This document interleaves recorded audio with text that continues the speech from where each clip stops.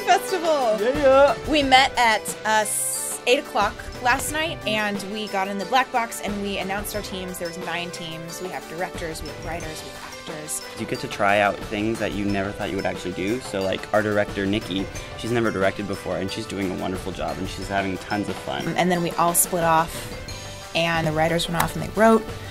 Through the night until this morning, and they submitted their scripts to the directors this morning and their actors, and then the actors and directors got together, read over the scripts, and went through their entire show. And we've been rehearsing all morning and all day, and we've been doing tech rehearsals, and then tonight we have dress rehearsals, and then we open.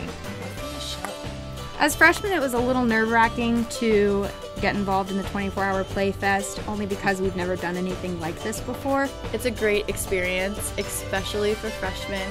It's so great because I've gotten to know these two girls so well over the past 12 ish hours. All the people who are working today in our group are all freshmen, and we had a senior who wrote the script for us. It's a fantastic place to just get to know everyone so quickly and to just really feel comfortable and feel involved right immediately when you when you come into this department.